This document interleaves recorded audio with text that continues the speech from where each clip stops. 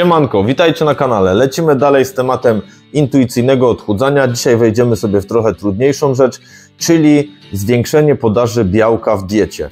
Tutaj dalej będziemy stosować, tak jak Wam obiecałem na początku, że nie będziemy sobie wyliczać tego białka, ale z tego filmu dowiesz się w jaki sposób zwiększyć sobie to białko w diecie, jakie są główne źródła białka i takie proste sposoby, żeby sobie tego białka przemycać trochę więcej do każdego posiłku. Zaczynamy. Białko jest niezwykle istotne w naszym odżywianiu, szczególnie jeżeli chcemy się odchudzać.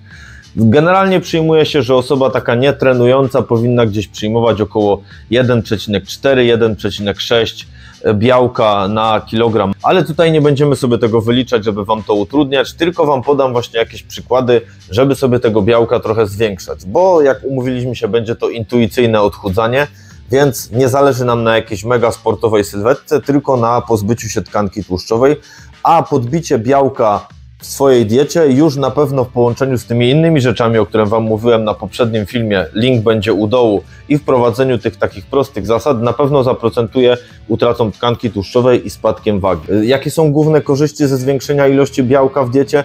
Przede wszystkim białko zwiększa uczucie sytości, więc jak będziecie mieć trochę więcej białka w diecie, to będziecie się czuli bardziej najedzeni. Jeżeli będziecie je dokładać do każdego posiłku, to automatycznie będziecie mieć większe uczucie najedzenia, uczucie sytości. Druga sprawa, białko chroni masę mięśniową. To jest to, co Wam mówiłem na początku odnośnie tych wskaźników, właśnie 1,6, 1,8. Osoby trenujące tak intensywniej nawet 2 gramy się poleca. To już zależy od każdego indywidualnie i od treningów, ale wysoka podaż białka chroni nam masę mięśniową. Każdy ma jakąś masę mięśniową, a też nie oszukujmy się, większość ludzi mówi, że chce schudnąć, ale jednocześnie chce, żeby ta sylwetka też jakoś tam wyglądała. Nie mówimy tutaj o six-packu, ale też nie chcecie chudnąć tak, żeby, się żeby stać się patyczakiem, nie mieć w ogóle mięśni, tylko każdy by chciał możliwie schudnąć, jak najwięcej stracić tkanki tłuszczowej, a żeby ta sylwetka wyglądała najbardziej zbliżona powiedzmy do osoby takiej zdrowej, lekko wysportowanej, czy powiedzmy zdrowej osoby, żeby nie, nie iść znowu ze skrajności w skrajność, że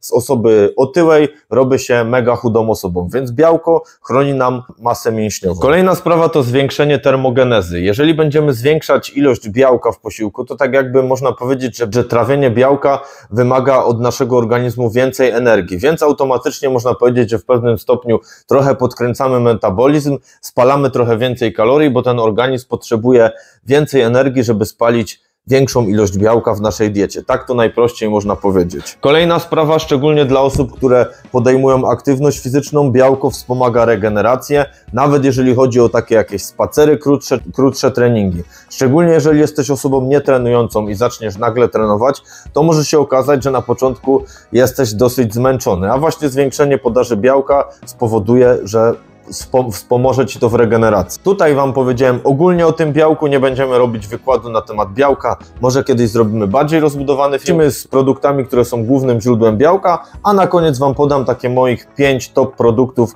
które używam, żeby właśnie szybko podbić białko, żeby było prosto, albo nawet może rozbudujemy tą listę, zobaczymy. Lecimy z produktami, które są źródłami białka. Pierwsze, czyli moim zdaniem najważniejsze, to mięso. I tutaj bym wybierał raczej mięso drobiowe, mięso z indyka, mięso z kurczaka. W drugiej kolejności wołowinę, wieprzowinę na samym końcu. Raczej unikam wieprzowiny. Na temat mięs też możemy zrobić kiedyś osobny film, ale tutaj też będą na pewno w komentarzach zdania podzielone, więc każdy ma jakieś swoje już odnośnie konkretnego mięsa, że jedno ma więcej tłuszczu, drugie mniej, że mięso wieprzowe jest takie, że kurczaki są takie. Tutaj będzie ilu komentatorów, tyle opinii. Ale trzeba przyznać, że mięso jest jednym z najlepszych źródeł białka.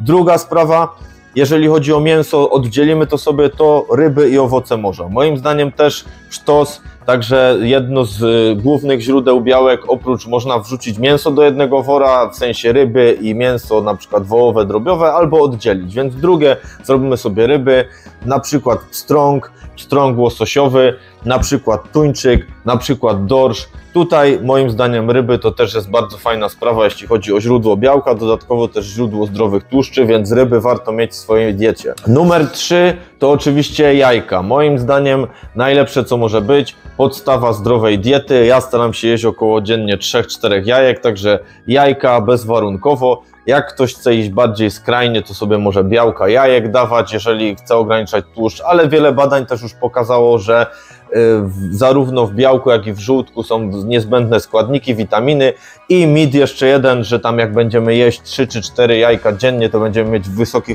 cholesterol, też już został obalony. Więc czwarta rzecz, moim zdaniem też, bez której nie mógłbym się obejść, to nabiał wszelkiego rodzaju twarożki, skyry, rzeczy nabiałowe. Bardzo fajna rzecz, jeśli chodzi o uzupełnienie właśnie białka, dodawanie białka w diecie. Piąta rzecz to rośliny strączkowe, fasole, cieciorka.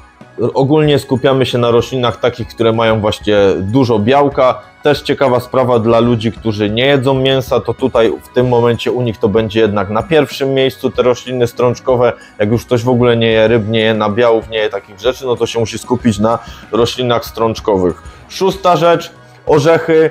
Ja staram się nie szaleć tutaj z orzechami, bo one aż tak dużo tego białka nie mają, ale jednak trochę mają. Można je bardziej dodawać jako dodatek już do pełnych posiłków, więc raczej wymieniam to Wam dlatego, żebyście wiedzieli, że też w orzechach i nasionach znajduje się białko. Także to też warto brać pod uwagę, jak sobie dorzucamy. Tylko tak jak mówię, z orzechami też nie ma co szaleć, bo mają dużo tłuszczu i są wysokokaloryczne. Jeżeli, jeżeli ktoś będzie sobie chciał dodawać orzechy do każdego posiłku, to efekt może być odwrotny. Kolejna rzecz to produkty pochodzenia z soi, tylko trzeba uważać, bo część z tych produktów jest wysoko przetworzona. I idziemy do kolejnego źródła białka, czyli ósmy Wszystkie produkty typu high protein, na przykład jakieś jogurty, napoje, skyry. Teraz tego jest od metra, serki, nie serki. Możecie wybierać od batonów, chipsy, wszystko jest teraz wysokobiałkowe. Z jednej strony dobrze, jest to produkt, który jest dodatkowym źródłem białka, tylko weźcie pod uwagę jedno, te produkty są wysoko przetworzone, a osoby, które chcą się odchudzać, to jest znowu też, wracamy do poprzedniego filmu, musicie zwracać uwagę, żeby też ograniczać te produkty wysoko przetworzone. Więc jeżeli będziecie spożywać bardzo dużo takich produktów wysokobiałkowych, to będziecie podbijać sobie białko, ale będziecie też bardzo dużo jeść takich produktów mega przetworzonych. Więc jak najbardziej te produkty moim zdaniem można mieć w diecie, ale nie opierajcie swojej diety na nich. Lepiej sobie zjeść trochę piersi z kurczaka, albo na przykład twarożek, albo na przykład jajka, niż non-stop jeść te rzeczy high protein. Na pewno nie można robić tak, że będę codziennie cztery takie rzeczy do każdego posiłku jadł, bo będzie to wtedy zajebiście przetworzona dieta i tego nie chcemy. I ostatnia rzecz, czyli odżywka białkowa. To jest najprostsze źródło białka, odżywka białkowa. Jedne osoby są przekonane do, do niej, drugie nie. Też, ktoś, też są uważane, że to jest przetworzony produkt, jak najbardziej, bo to jest białko w proszku. Też są badania, że to jest najlepsze źródło białka, więc tutaj jest y, kwestia trochę sporna. Osoby początkujące raczej starają się unikać odżywki białkowej, bo myślą, że to są jakieś sterydiany i w ogóle. Dlatego dałem to też na końcu, a też osoby, które powiedzmy, tak jak rozmawiamy sobie, chcemy nauczyć się odchudzać i nauczyć się zdrowo żyć, nie można też iść na łatwiznę, że ja będę też odżywkę białkową dodawał do wszystkiego, bo musicie się nauczyć tych zdrowych nawyków, żeby potem nie mieć efektu jojo. Więc odżywka białkowa jak najbardziej, ale uważam na przykład, że początkowo, nie wiem, po treningu siłowym na przykład 30 gram, albo na przykład po jakimś treningu raz dziennie, albo dodać sobie na przykład do jakiejś owsianki. W ten sposób nie opierajcie swojej diety na samym początku, czy swoich źródeł białka na odżywce białkowej, tylko nauczcie się, najpierw są inne produkty wartościowsze, od których trzeba zacząć tak jakby budować podwaliny swojego zdrowego jadłospisu. Lecimy teraz z moimi top produktami, jeżeli chodzi o źródła białka i kilka moich podpowiedzi. I jeżeli chodzi o mnie, no to moim zdaniem pierwszym top produktem u mnie, który jest bardzo często w diecie, to jest mięso drobiowe, drób pod różną postacią. I może ktoś powiedzieć, że to jest czasochłonne, że trzeba sobie gotować pierś z kurczaka. Możecie sobie wybierać wędliny drobiowe, możecie sobie oczywiście, to będzie najlepsze rozwiązanie, kupować kurczaka właśnie jakiegoś zagrodowego, smażyć go sobie i dodawać sobie do posiłków na wytrawnie. Powiedzmy garść takiego kurczaka do takiego wytrawnego posiłku, do jakiejś sałatki, do jakiegoś dania i wtedy będziecie uzupełniać to białko. Albo na przykład jest też rozwiązanie dla mega opornych i mega leniwych, czyli są takie wędzone piersi pakowane na przykład w Lidlu czy w Biedronce, że macie taką pierś, już ją sobie kroicie, można ją dodawać na zimno do sałatki, czy na przykład do obiadu, można sobie wrzucić do mikrofali, więc teraz już mamy takie czasy, że naprawdę nie trzeba stać nad garami, tylko można sobie wybierać takie produkty, które są gotowe. Więc pierwsza sprawa, no to mięso drobiowe, drobiowe dla mnie top. Jak na przykład lubicie kanapki, można sobie dać podwójną, potrójną porcję wędliny, są też teraz te wędliny z dobrym składem, drobiowe, więc tutaj drób u mnie to jest numer jeden, jeśli chodzi o produkty białkowe, takie, które używam.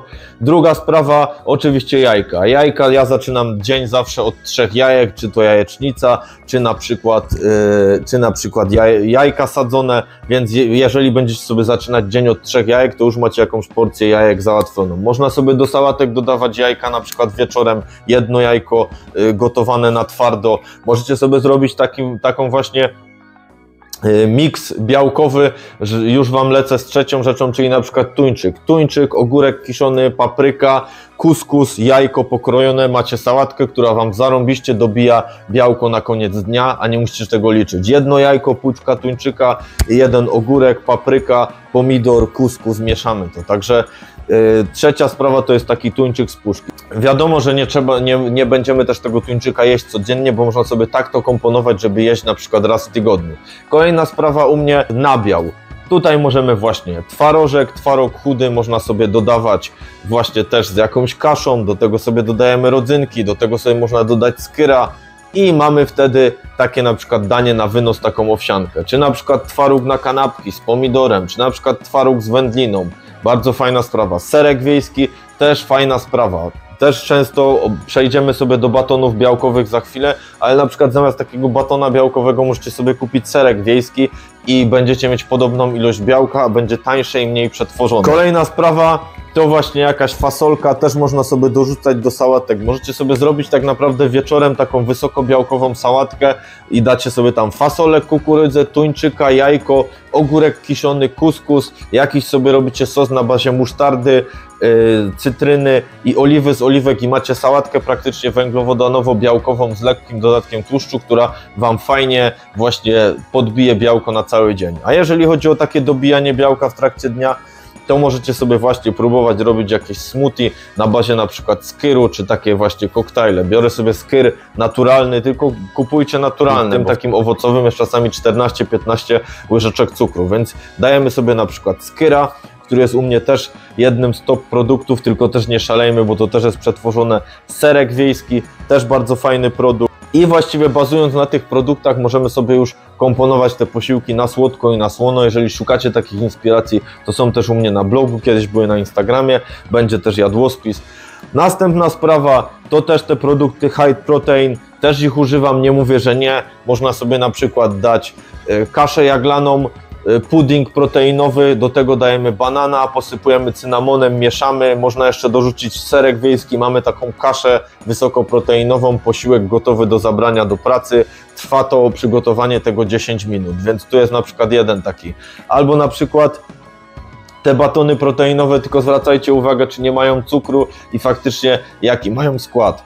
I ostatnia rzecz, o której Wam jeszcze powiedziałem, to jest odżywka białkowa. Możecie sobie stosować te wszystkie rzeczy, o których Wam powiedziałem, to tak naprawdę będziecie musieli tworzyć jakichś takich posiłków, które będą mega jałowe, tylko można sobie właśnie pomyśleć o tym dodaniu dwóch jajek, czy dodaniu, czy wymyśleniu jakichś nowych potraw, czy jako przekąska właśnie sobie biorę ten serek wiejski i na przykład jak sobie dziennie właśnie już będziecie stopniowo zwiększać te, te spożycie białka, to i automatycznie chudniecie, więc trzeba, tak jak mówiłem, wybierać też takie przekąski, które będą wartościowsze i zwracać na to uwagę. Także pamiętajcie, wymyślamy sobie jakieś dania typu właśnie kasze, sałatki, robimy sobie jakieś rzeczy typu właśnie koktajle, smoothie, mamy tego gotowego kurczaka, mamy gotowego tuńczyka. Tak naprawdę można sobie naszykować jedzenie na cały dzień bez konieczności e, bez konieczności gotowania, bo możemy użyć te produkty takie, które są już przygotowane, a na przykład kuskus zalewamy wrzątkiem, więc tutaj jest parę rozwiązań, ja też będę takie rozwiązania pokazywał na kanale.